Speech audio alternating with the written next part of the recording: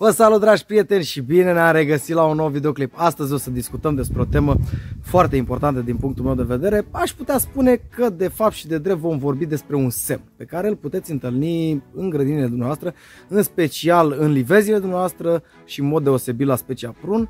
Un semn pe care îl puteți depista începând cu formarea fructului atunci când este din dimensiunea unui bob de mazăre până în momentul în care uh, acestea se maturează pur și simplu. Și vreau să discutăm în mod special acest aspect pentru că am fost întrebat de foarte multe ori pe această temă și totodată acest videoclip este, dacă aș putea spune, partea a doua a videoclipului în care vorbim despre uh, motivul de ce cad prunele înainte de coacere.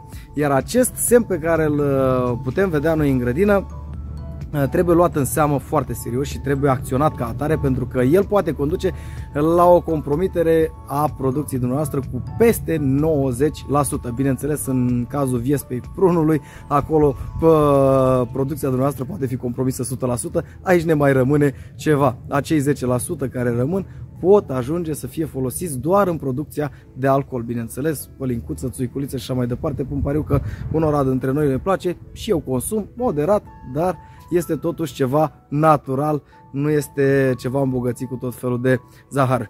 Așa că pentru cei care doriți să știți despre ce este vorba, ce este acest fenomen, cum apare el, cine este responsabil de producerea lui, mai ales cum putem combate prezența acestui fenomen în grădinile noastre și a ne salva uh, recolta, atât cu metode chimice cât și cu metode bio, vă sfătuiesc să rămâneți până la finalul acestui videoclip pentru că cu siguranță vă va fi de folos acest material. Așa că haideți să vedem despre ce este vorba.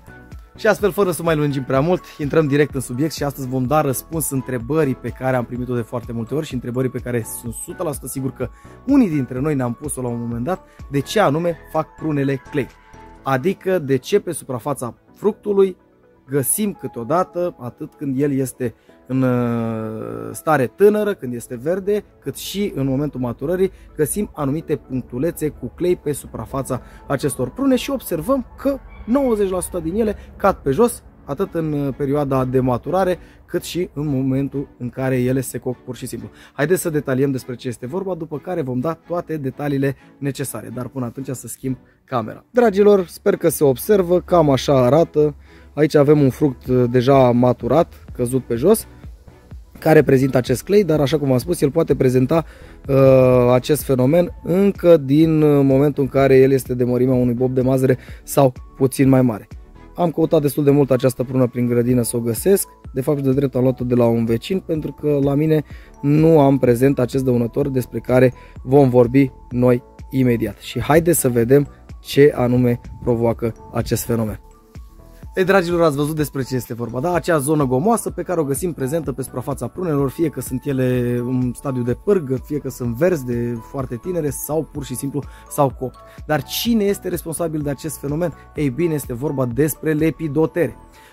Lepidotere sunt niște insecte, niște moli, niște fluturi, aș putea spune, care atacă în două generații și prima generație atacă la începutul lunii mai, când atunci se fac primele tratamente, dar imediat o să vă explic despre ce este vorba, și a doua generație atacă undeva la începutul lunii iunie. Prima generație care atacă la începutul lunii mai depun ouăle pe fructele respective ale dumneavoastră și larvele respective pătrund în pulpa fructului, iar cea de-a doua generație sunt larvele care eclozează, care ies pur și simplu din pulpa fructului și depun din nou ouă pe fructul matur, aproape dat în pârgă în unele cazuri sau pur și simplu fructul este maturat și pregătit pentru uh, pârguială respectiv coacere. Ce se întâmplă în acel moment? Ei bine, atât în cazul primei generații cât și în cazul celei de-a doua generație, larvele acelea penetrează pur și simplu uh, pulpa fructului și galeria pe care o să apă ea o garnisește cu niște excremente, cu diferite materii acolo. Automat fructul reacționează prin eliminarea unei gome și anume acelui clei pe care îl vedeți dumneavoastră prezent pe suprafața fructului, iar larva în tot acest timp va consuma pulpa fructului respectiv. Haideți să facem o secțiune mică în acea prună cu goma aceea prezentă și să vedem dacă găsim și larva. Să vedem, vom face o secțiune, sper ca larva să mai fie prezentă aici și să nu fi dispărut. Aceasta este goma respectivă, care vedeți că poate fi dată la o parte cu ușurință și să facem o secțiune pentru a putea observa dacă avem prezentă acea larvă în interiorul fructului. Da, vedeți aceste urme, uitați, aici și aici a fost prezentă uh, larva respectivă. Mai secționăm puțin, uitați, se pare că și la sâmbure a avut ceva de lucru.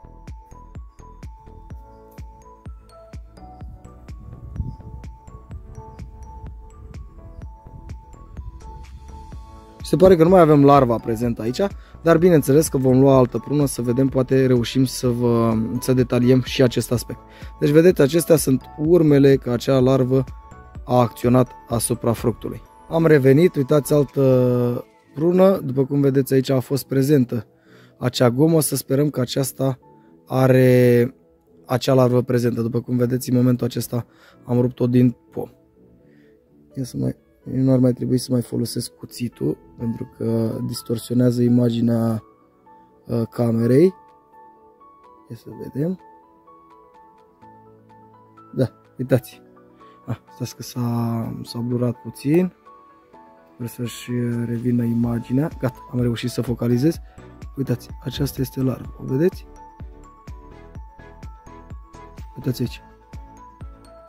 Pe vârful cuțitului. N-am o cameră foarte performantă care să focalizeze foarte bine, dar sunt 100% sigur că o puteți observa pe vârful cuțitului. Ia să vedem dacă putem focaliza mai bine puțin. Da, am reușit să fac un contrast cu mâna pentru a o vedea mai bine. Uitați, aceasta este larva de lepidoteră, larva uh, responsabilă de prezența acelei gome.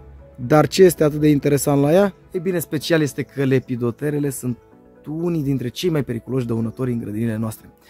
Atât această larvă care pur și simplu vă penetrează pulpa fructului, ducând la căderea masivă a acestora, compromițând poate chiar peste 95% din producția noastră de fructe, dar totodată aceasta mai are un văr primar, așa cum l-am putea noi denumi sfredelitorul ramurilor, pentru că tot din familia Lepidoteră face parte, iar acela nu mai atacă fructul, atacă pur și simplu pom, partea lemnoasă a pomului.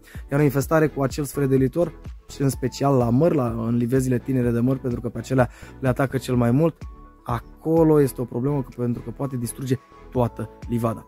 Am un videoclip mai vechi pe canalul meu, nu este filmat foarte profesionist, vă puteți da seama despre ce este vorba din acela, dar cu siguranță că voi întâlni fenomenul, voi face din nou un videoclip. Deci este vorba despre lepidotere, în cazul de față în care vorbim la prun, atacă la începutul lunii mai și la începutul sau jumătatea lunii iulie. Dar cum îl combate? E foarte simplu. La fel ca în cazul viespei prunelor, primele stropiri care se fac, în special la căderea uh, primelor petale, va combate o parte din aceste lepidotere. Dar ele atacând puțin mai târziu va trebui să revenim cu o stropire, acum vorbim din punct de vedere chimic, deși eu nu încurajez acest aspect, totuși vă prezint și situația, soluția chimică, să reveniți cu un insecticid sistemic undeva în data lunii 5-10 mai când se produce primul uh, atac, iar după aceea veți mai reveni iarăși cu un insecticid sistemic undeva la începutul lunii iunie, 5-10, uh, mă scuzați, lunii iulie, 5-10 iulie. Aceste insecticide sistemice, în general, combat aceste lepidotere. Uh, există, bineînțeles, și metode bio, există cane cu feromon pe care eu le încurajez, există posibilitatea de agățare de săculeț de naftalină, la fel ca în cazul viespii uh, prunului, există metoda cauciucului, se dă foc în acele perioade când ar trebui să faceți stropirile mai des în cursul zilei la niște cauciuc, acelea să depună puțin fum pe suprafața fructelor și aceste lepidotere nu se vor mai apropia. Deci, teoretic, există posibilitatea atât chimic cât și cea bio. Cea bio o recomand, așa cum am spus, pentru grădinile mici și mijlocii, pentru că acolo se pot aplica. În intensivele mari nu intrăm pentru că acolo sunt oamenii specializați care merg automat, la fel cum am spus, ca în fermele de pui. Se îmbolnăvește unul, mor toți. Așa este și în intensivele mari. Dacă nu se fac aceste tratamente, sunt pierderi foarte mari. Am vorbit despre fenomenul în sine, cum este prezentat, am vorbit despre cine este responsabil de fenomenul respectiv, am vorbit despre cum anume putem trata acest fenomen. Ei bine, concluzia este că Așa cum am spus, aceasta este o a doua cauză a căruia prunele, prunele pur și simplu din grădinile noastre cad înainte de coacere. Gata și cu episodul 2 din miniseria de 4 videoclipuri în care vă dau detaliile de ce s-a de ce cad prunele înainte de coacere. Sper că v-a fost de folos acest material, așa cum am spus de fiecare dată, vă puteți documenta mult mai, mai uh, intens, dacă aș putea spune, în mediul online, în lucrările de specialitate, să vedeți despre ce este vorba și dumneavoastră trageți concluziile și vedeți ce veți face. Foarte important. În momentul în care prunele noastre sunt deja infestate cu această larvă, adică după uh, jumătatea lunii iulie, dumneavoastră nu mai puteți face nimic. Deci chiar ieri am primit un comentariu în care eram întrebat, domnule, dar ce fac? Îmi cad prunele, cu ce să stropesc? Nu mai puteți stropi cu nimic. Fie că este vorba despre viespea prunelor, fie că este vorba despre lepidoteră, aceste tratamente se fac începând de primăvara. De fapt, de drept se fac începând de primăvara de vreme, de iarnă, dacă aș putea spune așa, atunci când se fac stropirile cu ulei horticol pentru uh, pomii în, uh, la negru, așa cum s-ar spune atunci când ei nu prezintă frunze, undeva în luna februarie. Și încă de atunci noi putem lua atitudine împotriva acestor dăunători foarte periculoși. În speranța că acest videoclip v-a fost de folos, așa cum v-am spus, documentați-vă, trageți concluziile, vedeți ce aveți de făcut, cu siguranță veți lua atitudine și veți reuși ca fructele dumneavoastră să nu mai cadă atât de mult pe jos. Până la următorul material, vă doresc toate cele bune și să ne revedem cu bine la următorul videoclip. V-am pupat!